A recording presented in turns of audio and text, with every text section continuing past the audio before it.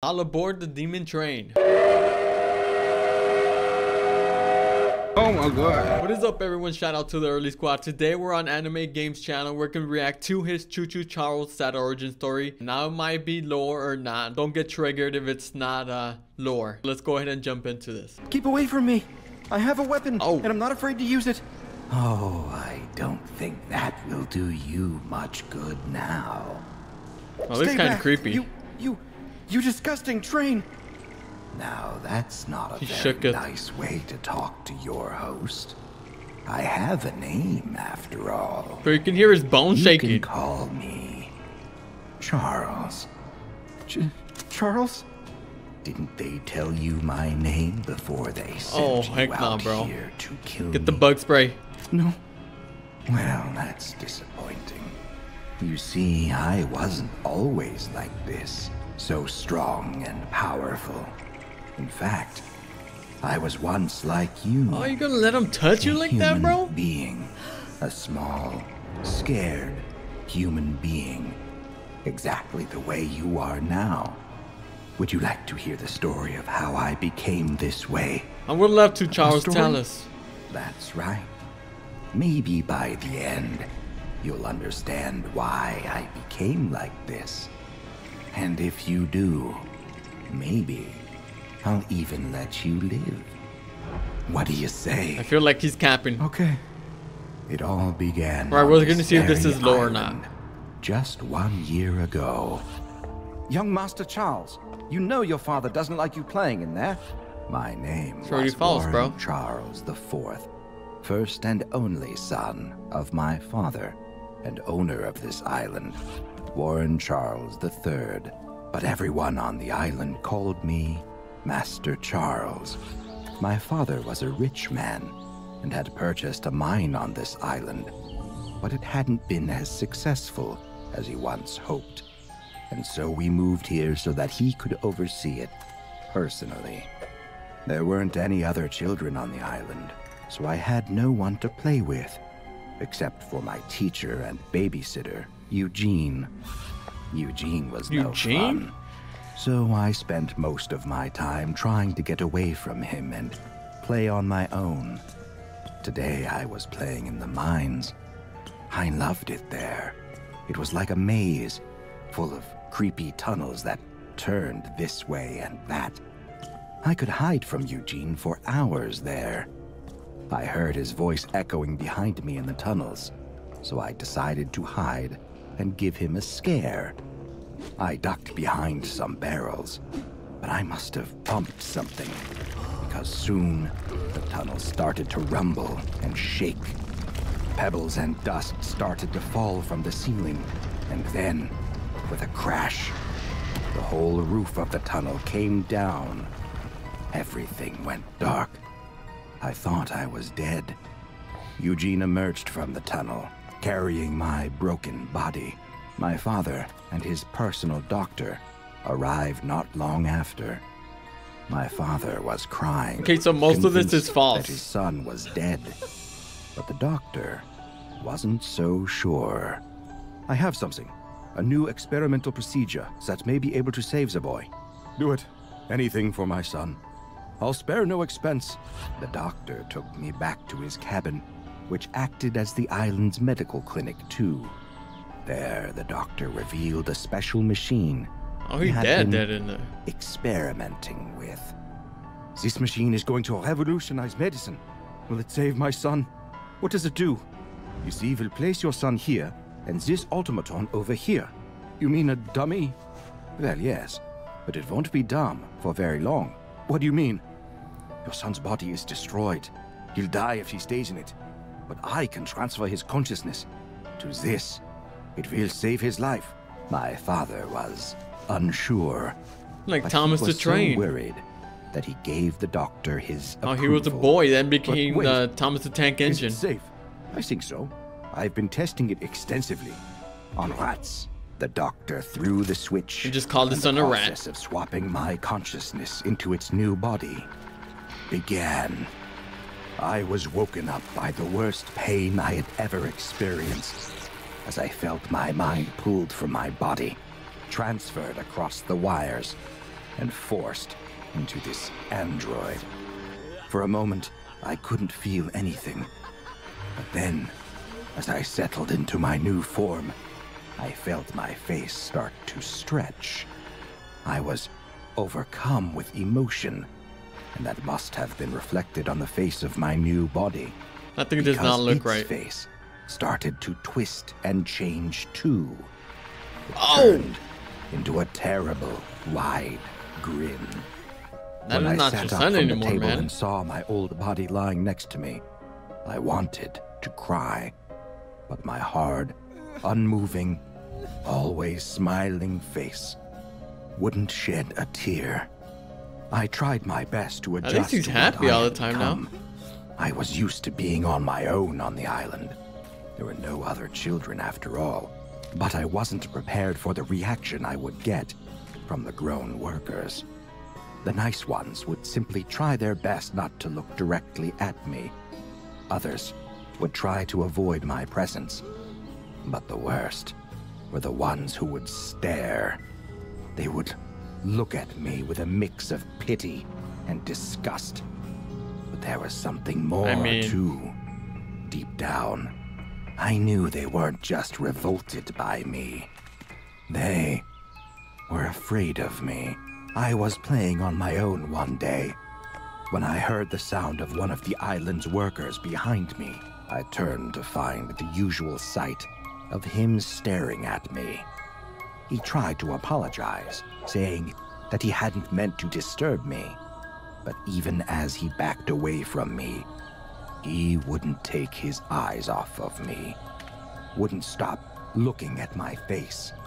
As I walked towards him, he kept backing up, dropping his mining pick He's on had the enough. ground. Please, Master Charles, I didn't mean anything by it. I'm sorry. But his words rang hollow to me. He had come out here to look at the disgusting monster, to mock me. So I did the only logical thing. and No, picked he's up gone the crazy. Pick he had dropped, and struck him with it. You see, Yo, what a my savage. artificial body was quite strong, stronger than it had ever been as a boy, and the blow from the pick was strong enough to break the arm that he had tried to defend himself with. The other workers were told that he had been in an accident, but word soon spread, and they knew the truth. I'm not sure if they meant it as a joke, or if some really believed that it would keep them safe. But some of the workers soon started wearing masks. Masks that looked exactly like me. I suppose they figured if they looked as terrible as I did, that I wouldn't want to harm them. Or maybe they just wanted to make fun of me. Either way, I didn't care. It did make me happy seeing them look exactly like me. So happy, in fact, that I wanted everyone on the island to do the same. There were still some holdouts, though. They'd need to become even more afraid of my wrath if I was going to convince them. I was watching from a hill nearby when my father unveiled his newest piece of machinery for the island mine. It was a train, Oh, but a special one. Instead of wheels, it Wait, why had it got long spider legs already? Legs, like a spider, that allowed it to go anywhere, what? over any type of terrain. Everyone watching was very impressed by the new invention. That is false. But all I could see was the train's inventor. He was a young engineer, one of the youngest men on the whole island. Handsome, strong, and smart. Everyone seemed to love this man, to want to be around him.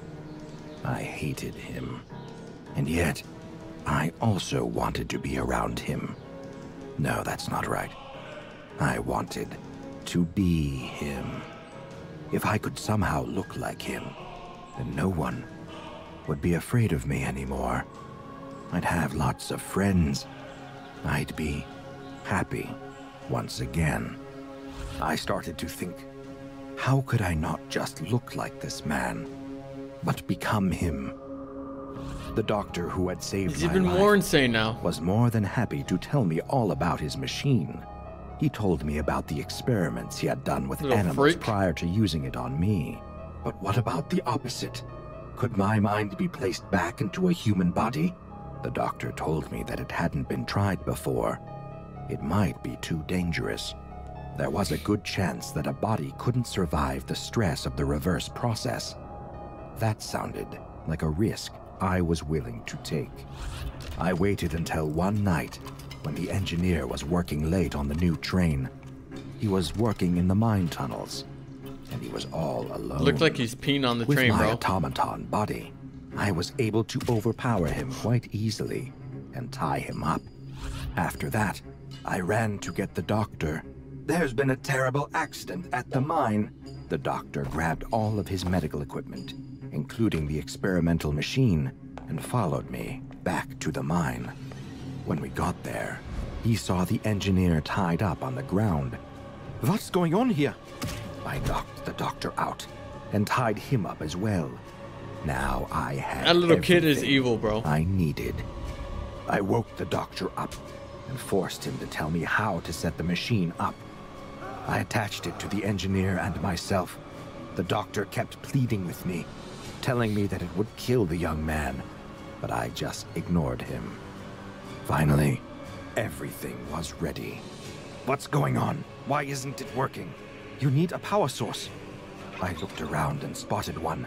The engine of the special new train. I connected the machine to the power source.